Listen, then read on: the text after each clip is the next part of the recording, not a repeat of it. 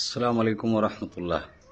अगर किसी भाई को बहुत पुराना अस्थमा हो, यानी सांस जिसका इलाज करा करा कर वो थक चुका हो, यानी अपने लाखों रुपए अस्थमा के लिए डॉक्टरों के पीछे या हकीम तबीबों के पीछे लुटा चुका हो तो उन हजरात के लिए मैं एक देसी नुस्खा बताता हूँ।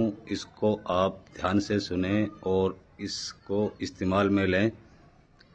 इन आपको चाहे कितना भी पुराना अस्थमा हो, आपके फेफड़े सुकड़ चुके हों या चिपक चुके हों, या उनके अंदर इतनी तादाद इन्फेक्शन की बढ़ चुकी हो कि डॉक्टर ने आपको उससे मायूस कर दिया हो। तो ऐसे तमाम हजरात के लिए मैं आपको ये नुस्खा पेश कर रहा हूँ। आप इसको ध्यान से सुने और इसका फ़ायदा उठाएँ।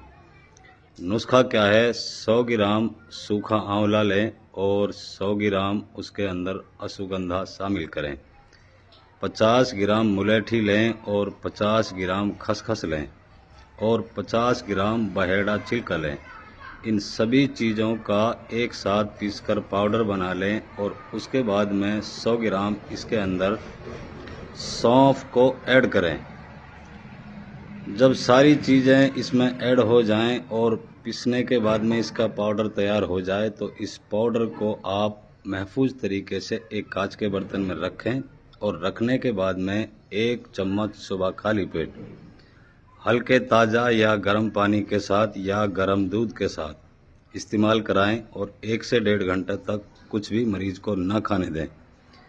इसी तरीके से शाम को आप एक चम्मच उसको सोते वक्त दें और उसके ऊपर एक गिलास दूध पिलाने का काम करें।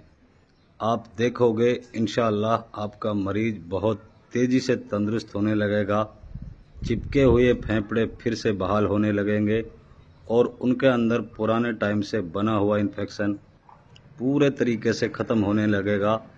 ऐसा तकरीबन आप 25 से 30 दिन लगातार करें इन आस्थमा की प्रॉब्लम आपकी जड़ से ख़त्म हो जाएगी। यहाँ तक कि आपको टीवी जैसा मामला अगर उसकी वजह से बन चुका हो तो वो भी आपकी पूरे तरीके से सही हो जाएगी। उम्मीद करता हूँ इन आप इसको ज़रूर इस्तेमाल में लेंगे और इसका फ़ायदा उठाएँगे। अल्लाम वरहमल वर्का